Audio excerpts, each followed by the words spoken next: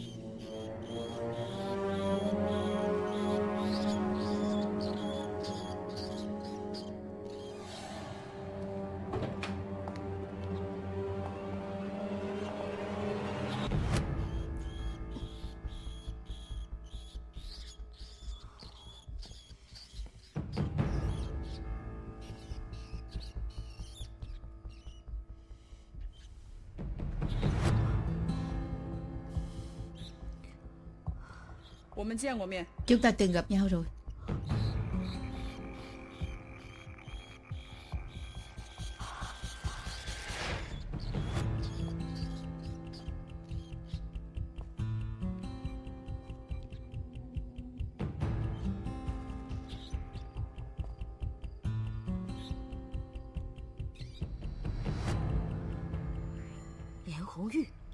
Ngôn Hồng Diệp Bách thập tử tiểu thư đâu?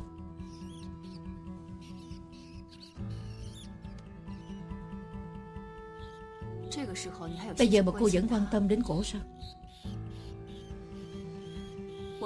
Tôi không hứng thú với cô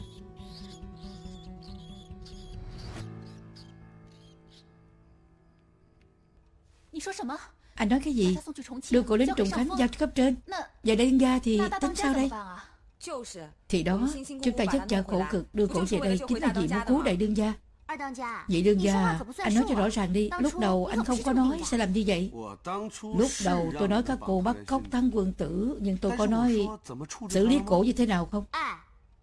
Nè chúng tôi rất mạo hiểm mới bắt cóc được thắng quân tử Anh thấy bắt được người rồi Nên bây giờ muốn giao nộp cho cấp trên để lập công đúng không? Bạch Cáp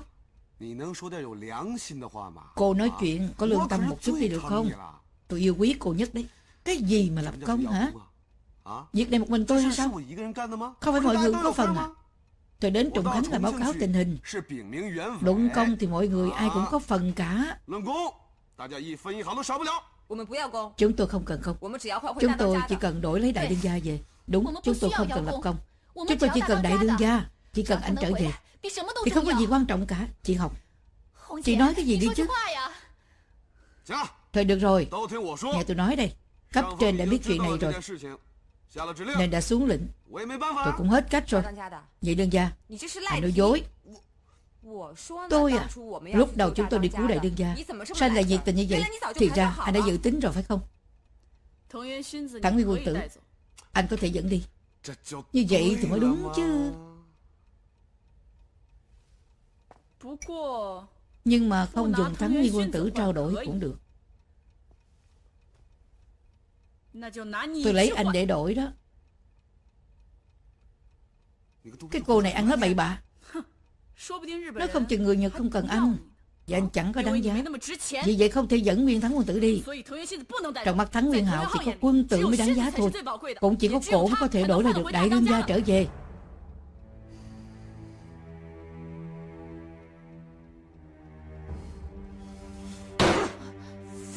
Các người phản rồi. Tôi là vị đương gia Tôi là trưởng quan của các người Đại đương gia không có mặt ở đây. Tôi nói tôi xử lý thế nào? Vậy xử lý như thế đó. Không được bằng cãi nữa. Ý gì? Làm đi. Buông ra đi. Chúng tôi tôn trọng quyết định của nhị đương gia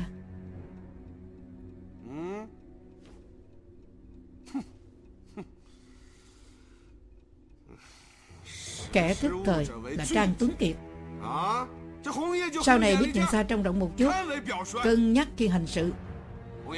Hồng Diệp, Thay tôi quản lý họ đi.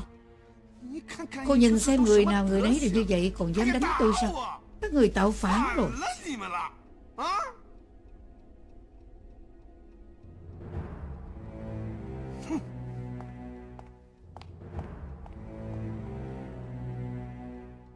Hồng Diệp Hắn là tiểu nhân bị ổi Cô đấu lại hắn không Bạch Hạc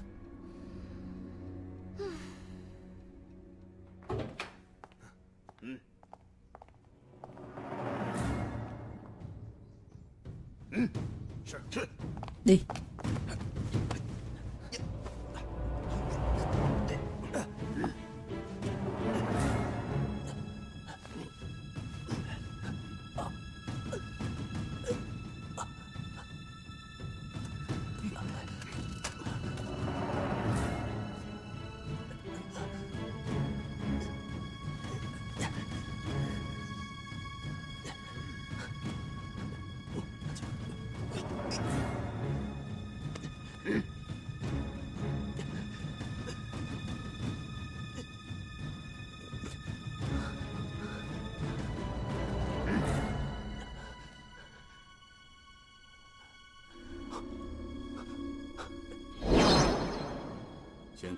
Bây giờ Bách Thục Tử sao rồi? Đã phái người đưa về khách sạn rồi. Cô chuẩn bị rời khỏi Thượng Hải Trở về Mãn Châu。Cứ làm như vậy đi。Tôi nghĩ bây giờ đặc công Trung Quốc sẽ có cùng cách nghĩ như chúng ta Lập tức sắp xếp Dùng mạch khách trong tay Để đổi lấy quân tử trở về。Trên thực tế thì Họ đã gửi tin tức cho tôi rồi Họ muốn dùng quân tử Để đổi lấy mạch khách. Nhưng chúng ta thì làm sao chắc chắn Họ thật lòng muốn dùng quân tử tử thư Để trao đổi với chúng ta đây. Họ vốn dĩ có thể giết chết Bạch Thập Tử. Do Mỹ, Bạch Quệ. Nhưng họ không làm như vậy. Điều này cho thấy rằng mạch khách vô cùng quan trọng với họ Cũng giống như quân tử quan trọng với chúng ta thôi. Bây giờ mạch khách và quân tử đều không chịu khai ra bất kỳ tình báo gì của đối phương Điểm này, tất cả chúng ta đều hiểu rõ. Vì vậy, Trao đổi là hợp lý nhất. Thuộc hạ biết rồi. Nhưng nếu làm như vậy có phải quá dễ dàng Cho mạch khách hay không? Đương nhiên là không thể tha cho hắn dễ dàng như vậy rồi. Vậy ý của cơ quan trưởng là Chuyện này cậu không cần lo. Cậu chỉ cần bảo đảm Ngày mai hoàn thành nhiệm vụ trao đổi thôi. Cứu được quân tử là điều quan trọng, Bảo đảm nó được an toàn. Chuyện khác Không quan trọng. Tam Bảo hiểu rồi. Còn nữa, Đừng nghĩ rằng mình thông minh. Nhất định phải đem mạch khách đi trao đổi Để quân tử được trở về. Tôi không có hy vọng Có sự cố gì xảy ra cả. Dân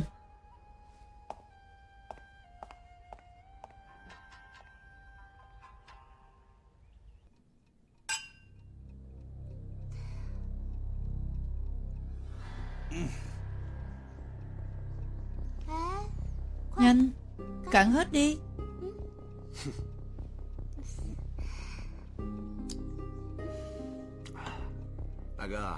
Bạch Hạc Là dùng mỹ nhân kế sao? Muốn dụ dỗ tôi à Các người không có chiêu nào khác phải không?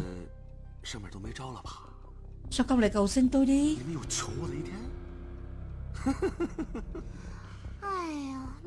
anh nói cái gì vậy chứ? Ai mà cầu xin anh? Hôm nay tôi chỉ muốn đến đây uống rượu với anh thôi。Không có ý gì cả。Chỉ là uống rượu thôi sao? Không có dụ dỗ chứ. Nào cạn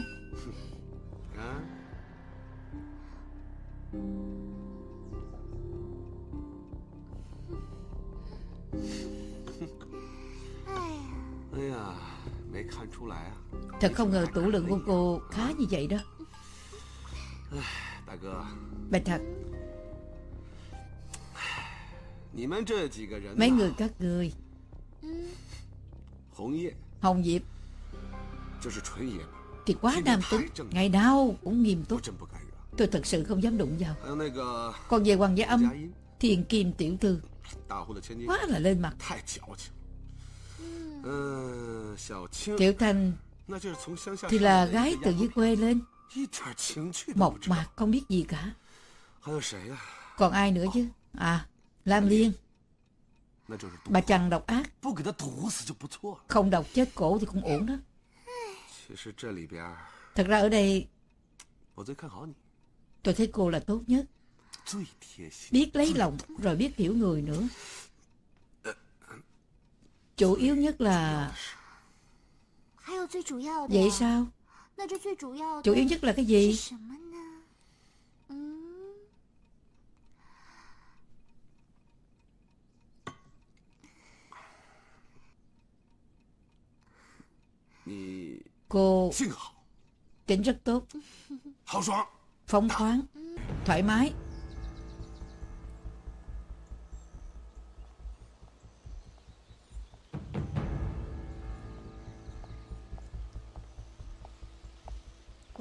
Hồng Diệp à Thắng Nguyên quân tử có cần phải tra hỏi không? Tra không ra cái gì đâu. Hơn nữa chúng ta cũng không còn thời gian. Hay là hạ chút độc vào cổ Lúc về sẽ tốt hơn. Vài ngày sau thì sẽ thăng thiên giống như giả lục vậy. Tôi cũng nghĩ như vậy. Nhưng lúc này đây tôi lại không muốn có sai sót gì. Đại đương gia là quan trọng nhất Có biết không? Đúng Đại đương gia, thiệt thòi quá. Bây giờ cứu ảnh ra ngoài quan trọng hơn bất cứ điều gì. Nguyên tắc quân tử, Sớm muộn gì Cũng sẽ rơi vào tay tôi. Những chuyện khác thì dây âm đã sắp xếp cả rồi. Bây giờ chúng ta đợi Bạch Hạc chuốt sai nhị đương gia, Sau đó tranh thủ hành động. Lần này chúng ta nhất định phải cẩn thận. Tôi hy vọng có thể cứu được đại đương gia trở về nguyên vẹn Hơn nữa, nhất định. Nhất định Nhất định cái gì? Tôi cũng giống cô thôi. Nhiệm vụ gì thì cũng không thấy khẩn trương cả。Bạch Hạc này sao mà uống lâu quá vậy? Thuốc cô đưa cho cô có vấn đề không? Không vấn đề. Mọi cái tốt chứ. Chắc chắn là như vậy rồi. Liều lượng không lớn. Chúng ta làm trái mệnh lệnh thì không sợ cái tên khốn kiếp đó. Làm gì nữa đúng không? Cô thật là thông minh quá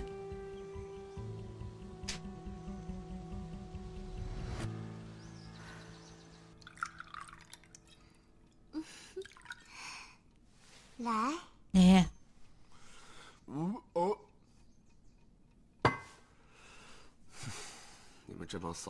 Cái đám con gái các người tôi biết nhất mà. Ai mà chẳng thích cái tên mặt trắng đó đúng không? Các người biết về cậu ta không? Có hiểu không? Nó là tên khốn kiếp. Cô không biết năm xưa hai chúng tôi ở thập cửu lầu quân. Hắn thật không có nghĩa khí. Không có nghĩa khí Cứ nhắc đến chuyện này là tôi nổi giận lên Hại tôi xém chút nữa mất cả tính mạng. Hắn còn là con người không chứ? Thôi đừng giận nữa. Chị đương gia nào Uống thêm một ly nữa đi.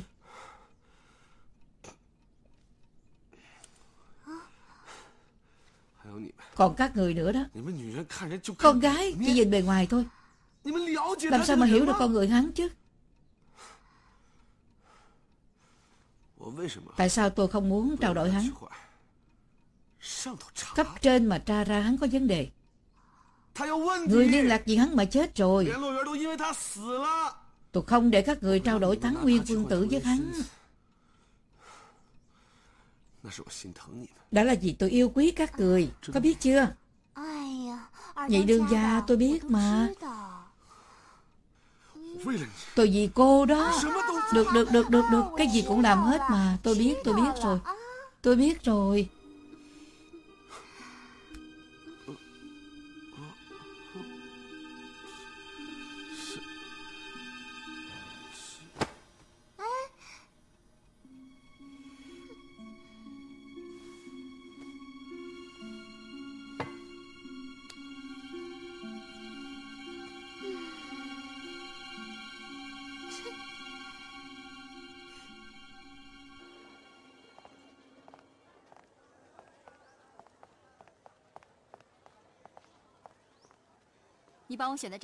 Anh đã giúp tôi chọn một nơi rất thích hợp. Cảm ơn thám trưởng Phiền anh rồi. Nên như vậy mà.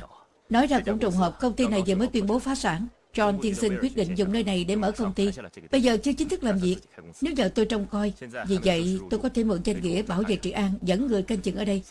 Còn về phía người Nhật tôi sẽ nói với họ Là quân tổng cấp cao ra định Mượn nơi này để làm việc. Như vậy được chứ Nhưng tôi thấy người Nhật sẽ bố trí người trao đổi với chúng tôi sẽ rất ít。Ở trong mắt họ Tính mạng của Thắng Nguyên Quân Tử quan trọng. Nhưng việc này họ sẽ không để các người thuận lợi rời khỏi. Yên tâm đi. Địa hình ở đây Tôi cho điều tra rồi. Thu xếp ổn thỏa. À đúng rồi. Anh cố gắng né tránh sự nghi ngờ của đám người Nhật đi. Đừng để họ cảm thấy anh và chúng tôi có quan hệ. Tôi đâu có sợ. Thắng Nguyên Quân Tử từng cầm súng chỉ vào tôi Cơn giận này tôi nhất định Phải trút ra Yên tâm Cô cẩn thận đó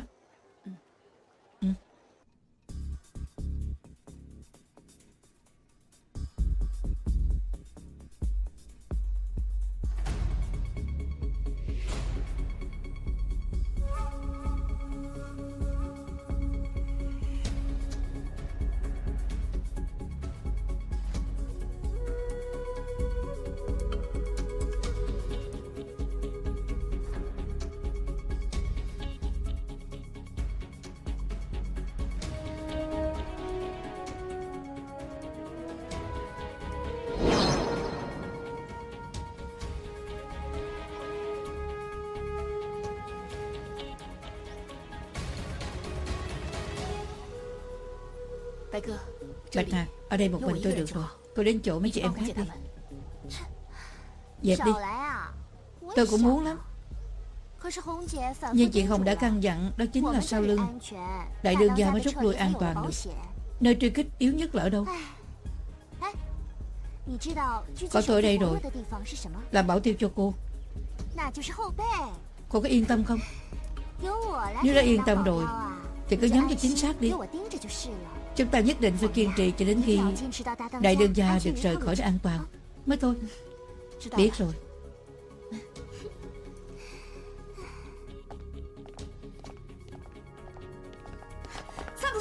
Đội trưởng Tam Bộ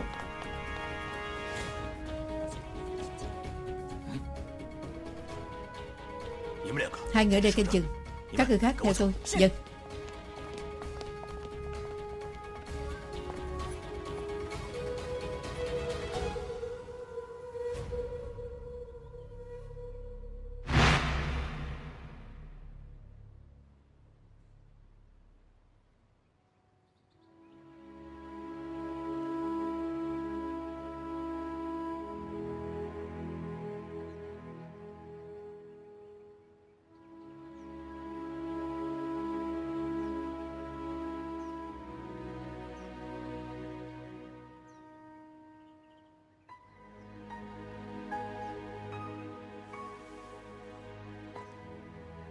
Hồng Diệp Nhìn lâu như vậy rồi Đang nghĩ gì thế? Không nỡ giết cổ hả? Đúng rồi. Thuốc cô cho cổ uống có mạnh lắm không vậy? Không đâu Chỉ làm cho ngủ một giấc Lát nữa sẽ tỉnh. Còn đại đương gia thì Không biết bây giờ sao rồi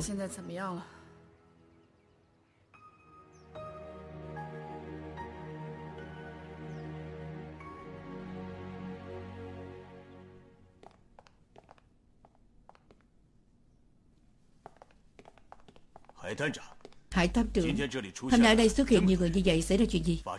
Là như thế này. Cho tiên sinh của Tổng cục Tư giới Công cộng Cũng tức là Tổng phám trưởng của phòng tuần bộ. Ông ấy vừa mới thu mua công ty này Để làm ăn buôn bán nhỏ.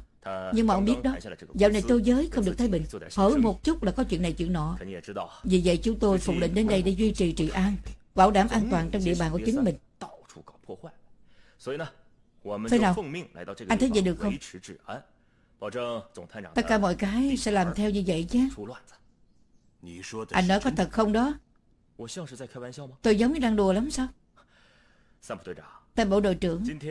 Hôm nay tôi phát hiện Xung quanh đây có rất nhiều người đáng ngờ. Nếu là người của ông thì xin báo một tiếng với tôi trước. Đừng để làm hỏng mất hoàn cảnh nơi đây. Tổng tham trưởng trách tội xuống. Chúng ta không gánh nổi đâu Tổng tham trưởng đã đồng ý với tổng quân cấp cao cho mượn nơi đây làm ăn, Nhưng lại không có đồng ý cho cơ quan trưởng các người đến đây để phá rối. Đối với Tổng tham trưởng mà nói, Không muốn đắc tội với quân tổng và cả người Nhật. Vì vậy tốt nhất mọi người Nhường nhau một bước đi. Quà khí sinh tài, Đừng có gây ra chuyện gì cả. Nếu không thì mọi người khó nhìn mặt nhau lắm đó. Vậy Hải Thám trưởng không muốn biết hôm nay tôi đến đây làm gì hay sao? Thám trưởng đã nói rồi, chỉ cần các người đừng đánh nhau, làm cái gì cũng được. Bây giờ người Nhật các người là như vậy, những cái khác đều như vậy. Nhưng ở tổ giới công cộng thì Tổng thám trưởng là như vậy đó.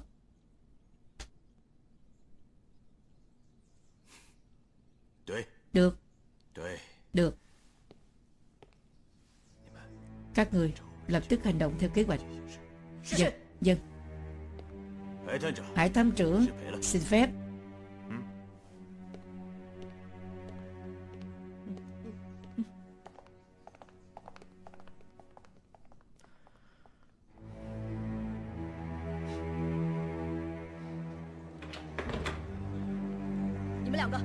Hai người ở lại đây đi Giờ vị tiểu thư có gì căn dặn?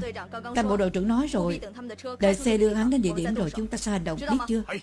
Dân Ở đây là nơi trung lập Lại là địa bàn tô giới công cộng Nhớ cho kỹ Không được nổ súng bừa bãi. Dân Dân Được đi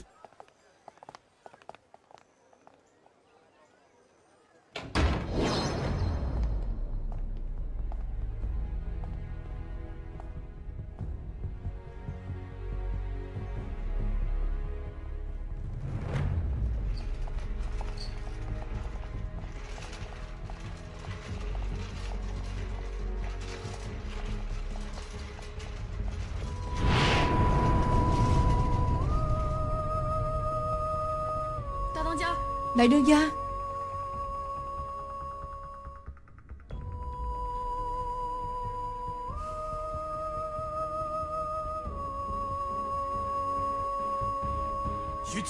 Quân tử. Tại sao? Tại sao cổ lại như vậy hả?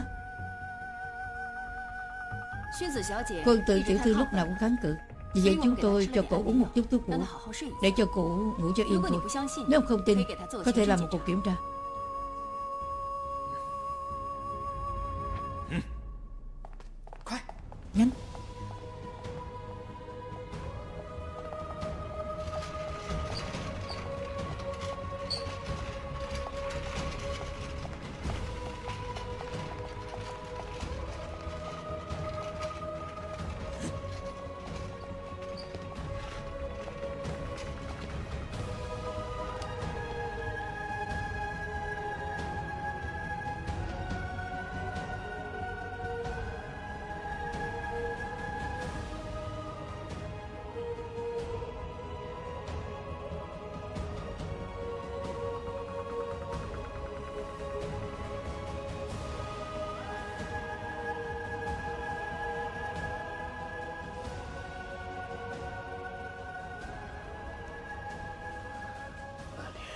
Lam Liên à?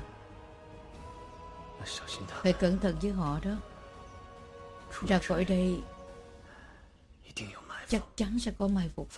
Yên tâm đi. Chúng tôi đã sắp xếp cả rồi.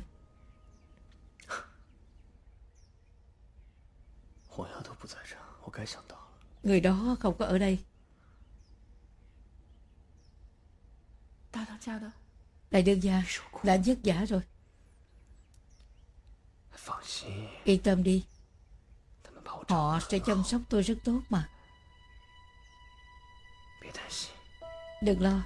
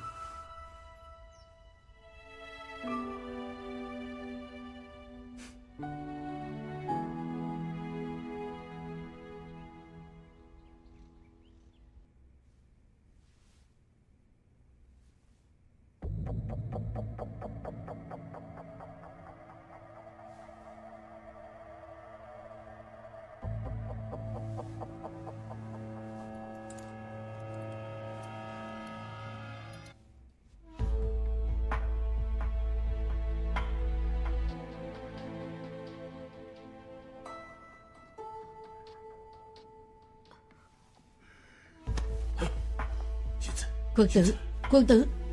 Cô cảm thấy thế nào, Quân tử? Quân tử à? Quân tử, Cô tỉnh rồi.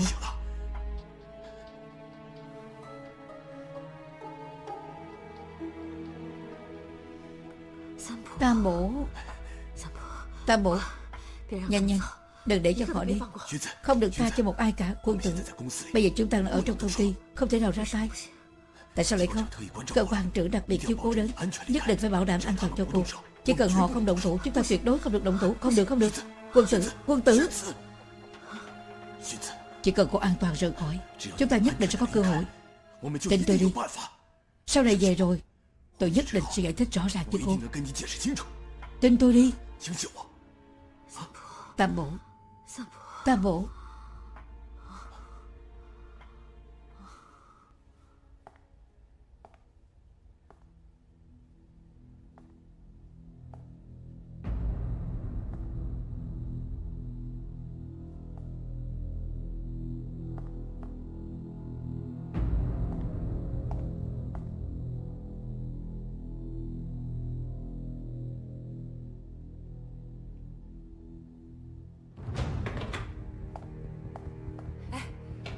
Sao rồi? Bình thường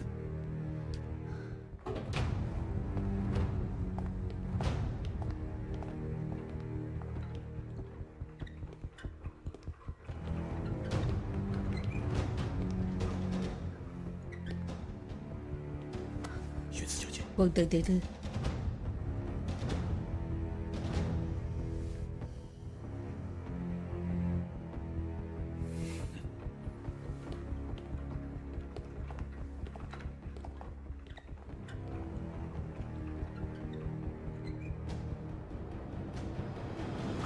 Rút thôi.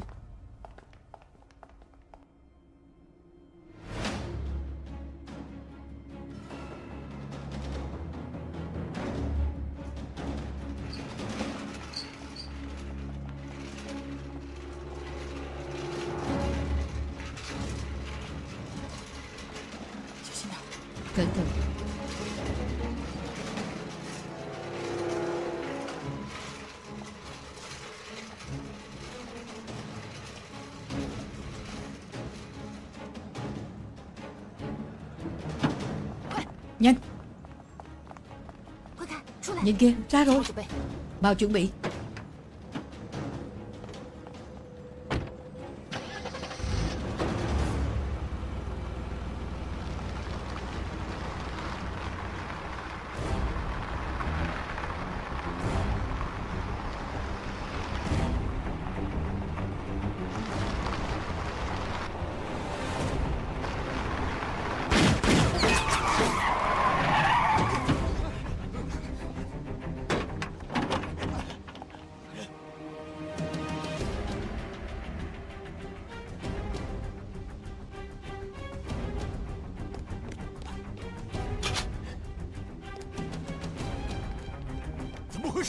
chuyện gì? Đội trưởng, Có người truy kích, Có cần bắn xả không?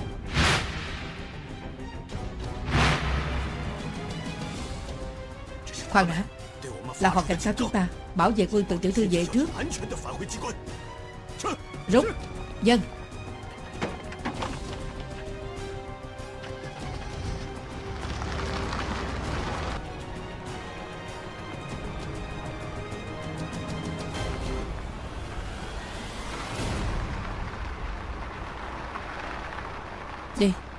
Đi.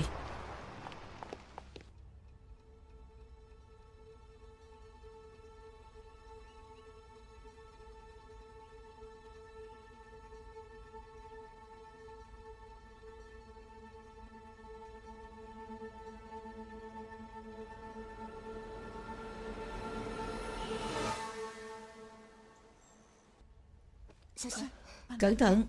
Từ từ. Anh có sao không vậy đại đương gia? Nè Đại đương gia. Uống chút nước đi. Từ từ nhé.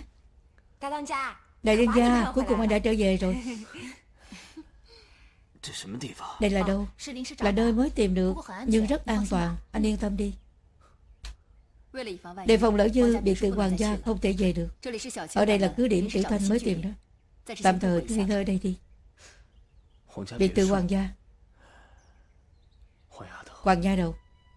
Cô đỡ bỏ Ngôi nhà của mình sao?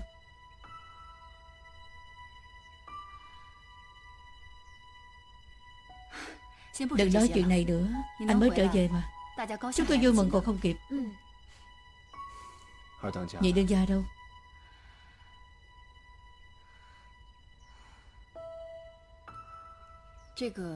Chuyện này từ từ. Mới giải thích với anh được. Tiểu Thanh Lê Âm Hai người về biệt thự Đón nhị đương gia qua đây đi. Chắc là kịp rồi đó. Dân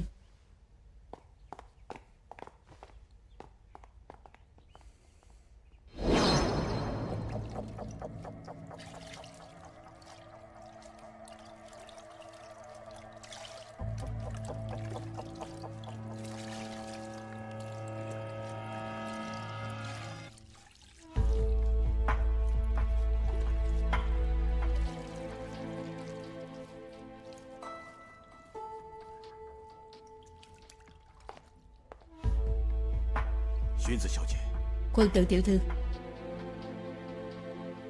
Là tam bổ sao? Dân. Vào đi.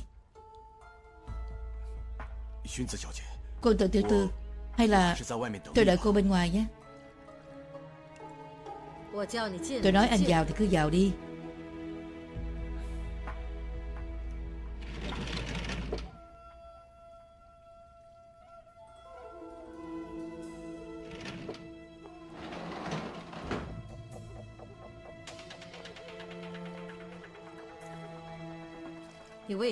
Tại sao lại không đuổi theo họ？Thật ra thì Tôi cũng không muốn thả họ đi như vậy đâu。Hơn nữa đã sắp xếp hết cả rồi。Chỉ là họ cũng có sự chuẩn bị cho chúng ta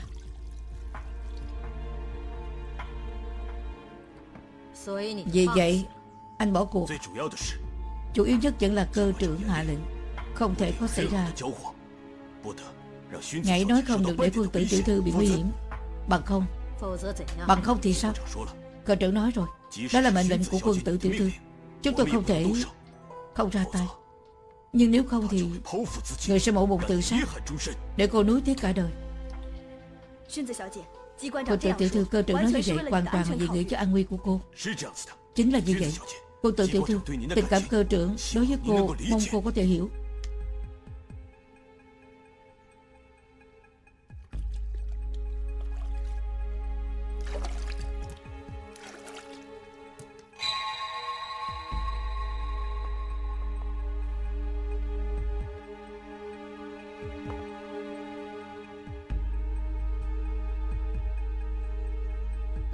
Vậy tức là buông tha cho mạch khách à？Đương nhiên là không。Cơ quan trưởng đã sắp xếp rồi。Thứ người tiêm vào mạch khách Kiểm tra bình thường sẽ không thể nào phát hiện ra nó được。Là chất gì？Nói chính xác nó không phải là thuốc。Là độc phẩm tiên tiến nhất của chúng ta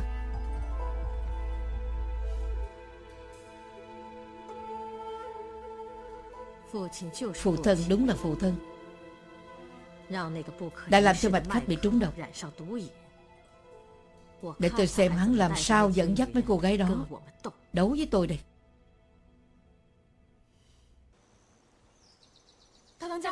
Đại đương gia Đại đương gia Đại đương gia Đại đương gia làm sao vậy？Đại đương gia Đại đương gia Anh làm sao vậy hả？Đại đương gia Nhanh nhanh nhanh để tôi xem thử sao rồi Sao rồi đại đương gia?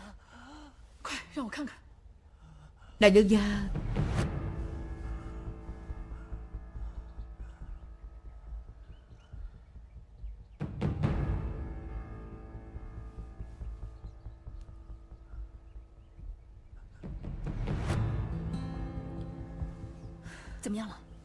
Sao? Đại đương gia trúng độc rồi. Trốn đâu và như là một loại nha phiến gây nghiện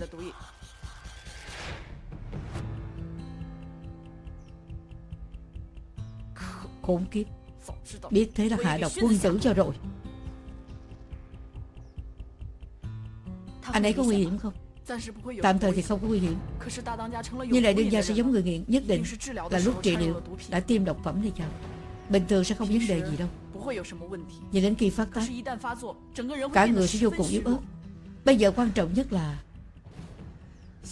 Phải đưa đại đương gia Đến một nơi an toàn Giải độc Cai nghiện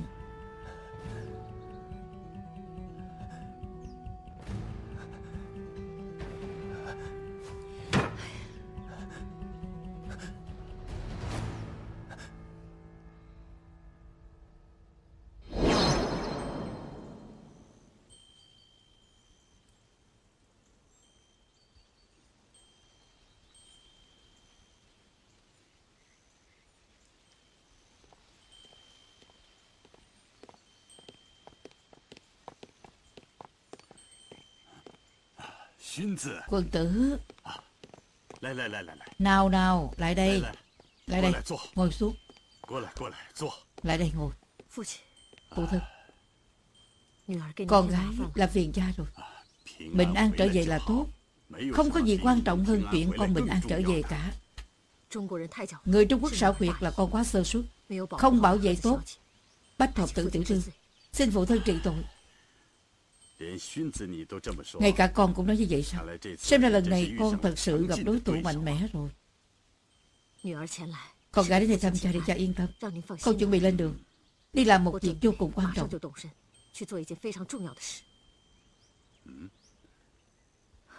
Tam bộ Chuẩn bị xong chưa? Chuẩn bị xong hết rồi. Phụ thân con gái bị giam ở tầng hầm. Tuy không thể biết bên ngoài nhà đó như thế nào Và xác định địa điểm nhưng căn cứ theo sáng nay, Thời gian từ tầng hầm đến công ty Con xác định được vài chỗ đáng đi Ngoài ra, Từ cầu tàu của tầng hầm, Đặc biệt là đường ống nước, Chắc là thiết kế của người Pháp. Ở Thượng Hải, Người ở những ngôi nhà có kiến trúc này không nhiều. Con đã phái người điều tra, Và bây giờ đã có kết quả. Tốt lắm. Đây là bại mà không nản. Ý chí bại trong thắng. Phụ thân Vậy con gái đi nhé. Cẩn thận đó. Tam bộ chúng ta đi. Dân